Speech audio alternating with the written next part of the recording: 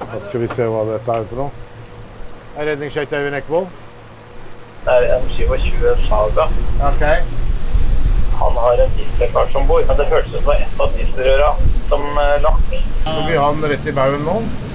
Så skal vi vurdere situasjonen Hva er problemet? eh, når vi kommer fram, og hvordan vi håndterer det. Ta imot dem, og så setter du dem på det kryssholtet på andre siden på din der. Vi fylte fullt eh, med diesel for tre dager siden, og nå var det litt over halve tanken. Når vi åpner motorrommet, så er kjølen full av diesel. Og da skrur vi av motoren, og så ringer vi til Redningsselskapet.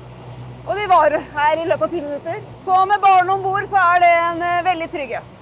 Der har vi eh, funnet lekkasje ute i sida her. Og det er konsekvensen av det at havaristen nå har fylt opp hele kjølen motorrom med diesel. På en motor sånn som dette her ville jeg nok ha byttet bytte ut en del av slangene hvert år. eh, For å sikre at, eh, at eh, dette ikke skjer.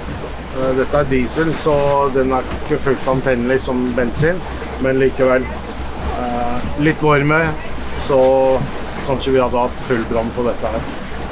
Så nå må vi få se om å få suget sugd dette her ut eh, og fjernet og på en forsvarlig måte. Eh, Så det er ikke noe vi kan fikse på stedet, så vi nå eh, tar kundene opp til eh, nærmeste Volvo Pente eh, verksted.